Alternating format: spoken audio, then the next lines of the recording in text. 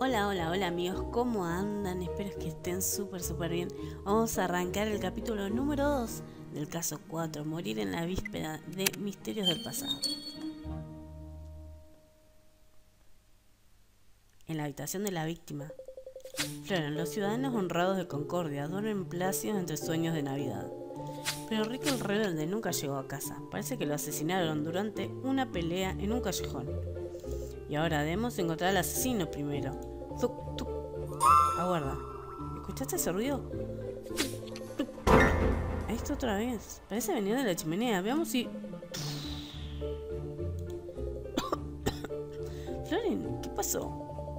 Ay, caramba, quedé ahumado. Cielos, ¿qué clase de criatura eres? ¿Y qué conjuro realizado en esta habitación? No aparecí por arte de magia, señor. Me caí por la chimenea. Soy un desollinador. Válgame Dios, quítate el polvo, niño. Teniente Floren querrá escuchar tu historia. Chiquitito.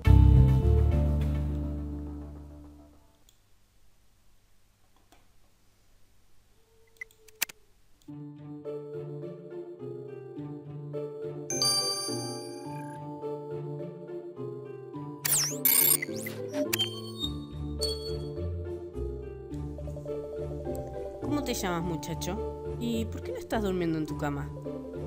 Mi nombre es Pip, señor. No tengo camas ni hogar. Papá perdió su trabajo. Dice que nadie en Concordia quiere emplear a un irlandés, así que tuve que dejar a mi familia y arreglármela solo. Ah, eso es muy desafortunado. Por suerte soy pequeño y ágil y puedo ganar unos chelines limpiando chimeneas. Pensaba dormir en la chimenea de Rick. Hace mucho frío afuera y Rick ya no necesita la habitación. Ah, sí, ¿qué sabes de Rick el rebelde?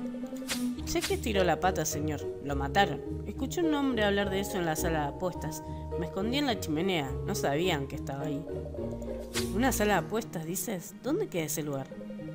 En el sótano de The Old Alley House. Rick y sus amigotes se la pasan jugando las cartas toda la noche. Sabía que tenía que haber un antro de apuestas por aquí, pero no esperaba que un niño lo descubriese antes que nosotros. Teniente Florence encargada de este antro de apuestas, Pip. No te metas en problemas, niño.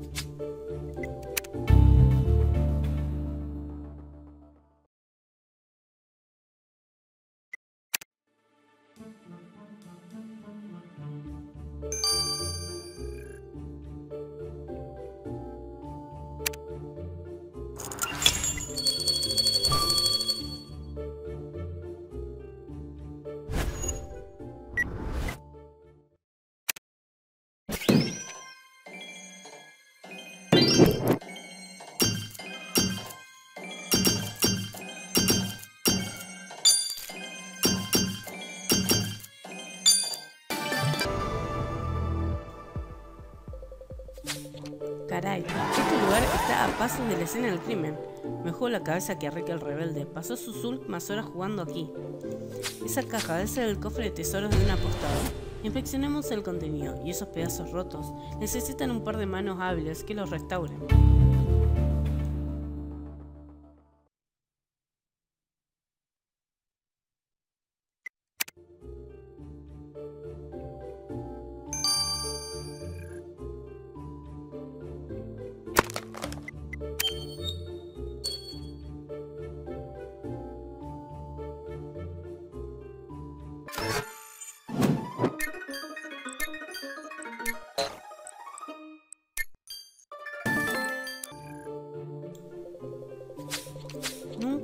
Vi un aparato similar al que sacaste de esa caja.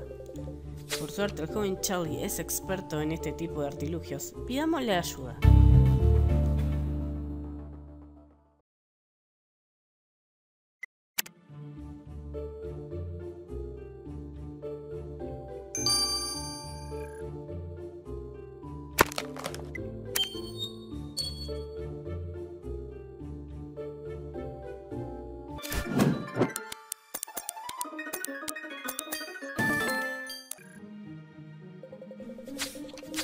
¡Qué descubrimiento siniestro! El mensaje escrito en ese naipe de baraja dice, Estás muerto, Rick. Apurémonos y tomemos una muestra de esa mancha. Tal vez nos diga quién amenazó a la víctima.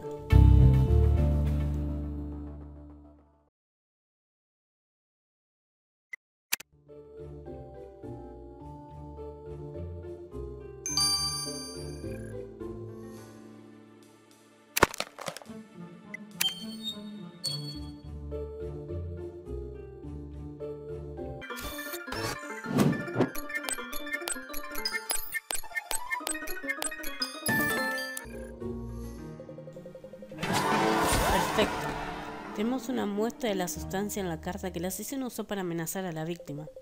Mejor enviamos ese espécimen al laboratorio. Lo invisible a los ojos le revela sus secretos a Viola Pemberton.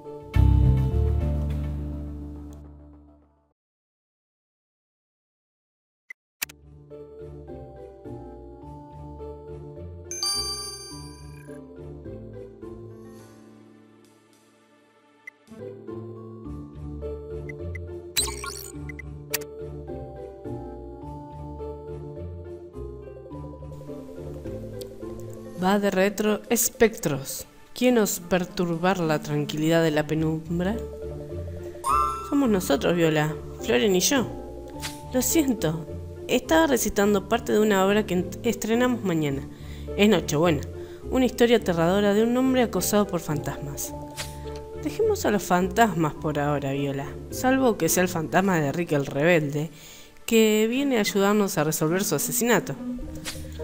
Volvamos a la ciencia, pues. El material que Florón recogió de ese naipe coincide con la saliva humana. Alguien debe haber escupido esta carta, una conducta muy reprochable. Quien haya escupido esa carta hizo cosas peores, Viola. Escribió una amenaza de muerte a la víctima. ¿Podemos identificarlo con este espécimen? Encontré rastros minúsculos de rapé en la saliva. Parece que el asesino tiene otro hábito reprochable Floren, aspira tabaco. Excelente trabajo. Atraparemos al asesino que aspira tabaco antes de que salga el sol. Es el momento ideal para volver a revisar la escena del crimen con el descubrimiento nuevo.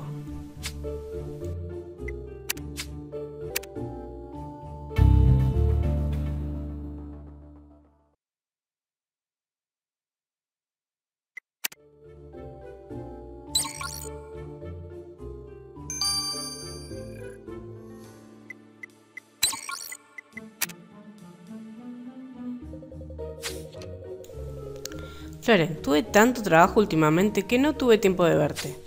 Madeleine me encargó el diseño de las luces navideñas para el dirigible. Funcionan con electricidad. Evitar un incendio es solo uno de los problemas. La mitad de New Haven ya se quemó por completo, así que espero que resuelvas ese tema pronto.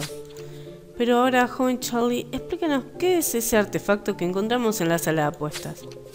Ah, es un mecanismo para hacer trampas en juegos de cartas se ajusta el, brazo debajo de la ropa y le pasa cartas al jugador que lo usa por medio de una cuerda. ¿Juego de cartas? Sabemos que el whist es uno de los pasatiempos del asesino. ¿Sabes quién construyó este aparato? Los inventores se enorgullecen de sus creaciones, Floren, y este instrumento tiene el sello personal de Tim el Tramposo, un jugador muy conocido en New Haven.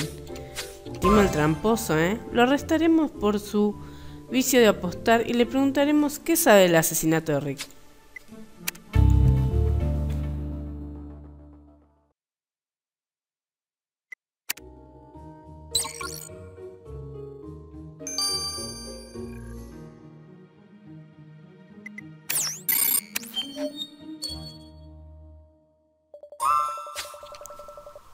Tim el Tramposo, ¿es usted el creador y dueño de este aparato? Maldición, me sé todos los trucos que existen, salvo uno que me proteja de detectives entrometidos. Teniente Florence, sé que la policía desaprueba las apuestas, pero es el único talento que tengo para ganarme el pan. Salvo que mañana me gane la lotería. En ese caso, no volveré a tocar una carta. Por suerte no vinimos por sus juegos ilegales. Asesinaron a un tal Rick el Rebelde y creemos que fue un apostador quien le hizo perder el juego contra la parca. ¿Rick está muerto? Le apuesta al caballo equivocado, se cree que yo lo maté. Le apuesta al caballo equivocado, se cree que yo lo maté, teniente Floren. Le gané 100 chelines a Rick el rebelde hoy. Seré un idiota si matara a quien me hizo tan... Eh, si matara a quien me hizo tan próspero. Bien, compórtate, Tim. Hoy vinimos por un asesinato, pero tenemos mucho lugar en la cárcel para tramposos.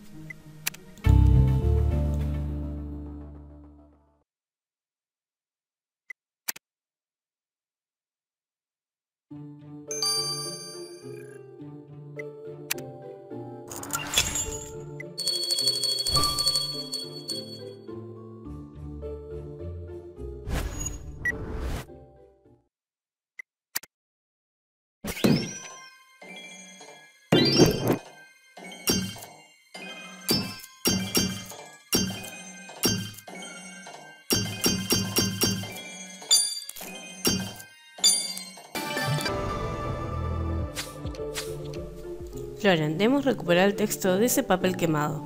Ya sabemos por experiencia que el fuego es un buen modo de destruir evidencia criminal. Y esas piezas rotas volverán a la vida gracias a tus manos hábiles.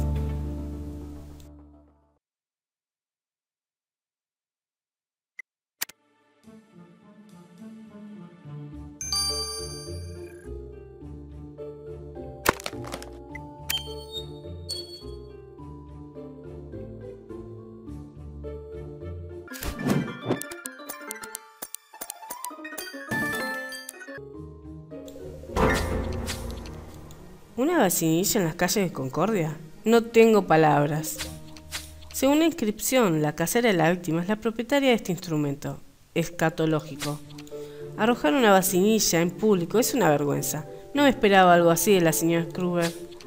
Y por supuesto, esta prueba ubica a la señora Kruger en la escena del crimen. Estoy de acuerdo. Debemos hablar con ella.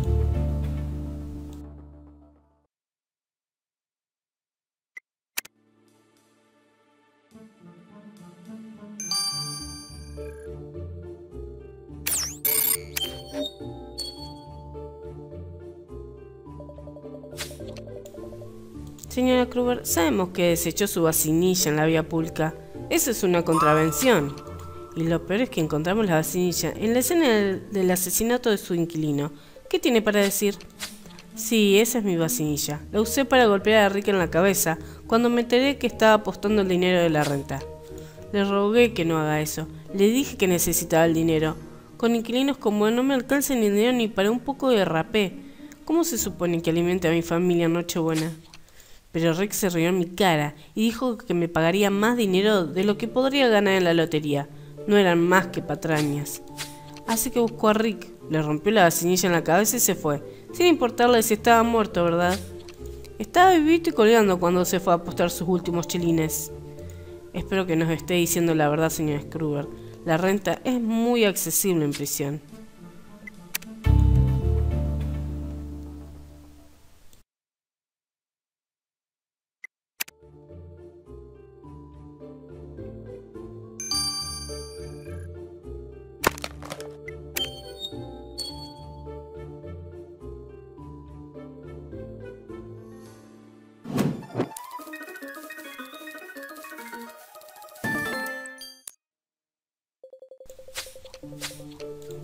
Esa nota quemada es una amenaza, dice. Muerte a Rick. El resto de la nota parecen ser cálculos financieros. Debo esto, me deben lo otro. Es cierto, tenemos un sospechoso en el área de las finanzas, el señor Blake, el prestamista ávaro. Además, el señor Blake es el empleador de Rick y al parecer culpaba a la víctima por la disminución de sus ganancias. Tienes razón, el señor Blake nos debe una explicación.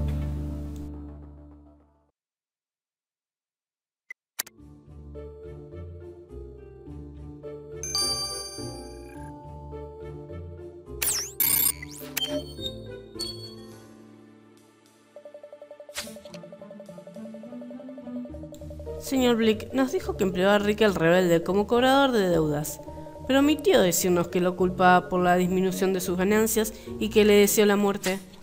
Lamento mucho que haya encontrado la nota. No voy a negarlo, emplear a ese patán fue un error garrafal. Era bueno a la hora de golpear a los deudores, pero después se negaba a entregarme el dinero. Cuando lo confronté, fue él quien me amenazó y tuvo el descaro de decir que debía pagar, haberle pagado un sueldo decente. ¿Pero cómo? Hasta jugué al tweet con la esperanza de recuperar dinero, pero claro, A nadie le importan mis dificultades. Tal vez Rick tenía razón respecto del sueldo digno, señor Bah, patrañas. Pagaré sueldos decentes cuando gane la lotería. Teniente Floren, ahora si me lo permiten, cerraré la tienda y me a casa.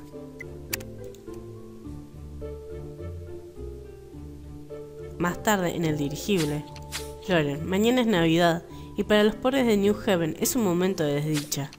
El dinero es la raíz de los problemas del lugar y es probable que sea el motivo detrás del asesinato de Rick el Rebelde. La señora Kruger estaba furiosa porque su inquilino apostó el dinero de la renta y le llenó los bolsillos de los rufianes como Tim el tramposo. El señor Blick dice ser demasiado pobre para pagarle un sueldo decente a Rick y lo culpa por la disminución de las ganancias. El único decente es ese niño que dejó a su familia porque sus padres no tenían dinero para alimentarlo. Qué triste. Floren, tenemos una emergencia.